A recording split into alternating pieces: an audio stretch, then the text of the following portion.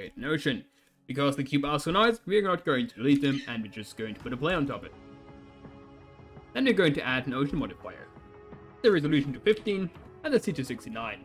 I like 69, but you can put in whatever you want. Next up we're going to waves and set them to 2. Then you're going to enable foam and set them to 0.2. You also have to give them a name, and I like to call them steep. Then we go to the shader editor and create a new material. Set the base color to blue and the transmission to 1. This always looks nice, but it can be better. And so we add a shader and an emission. Put the shader between these two and the emission into the shader. Also add a color ramp, as well as attribute. Put the attribute to whatever you called it, in this case Steve, and connect all of them.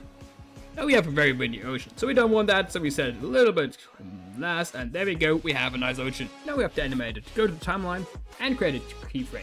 And I'll set it to 10, and go to the end, create a keyframe here as well. And the ocean is done.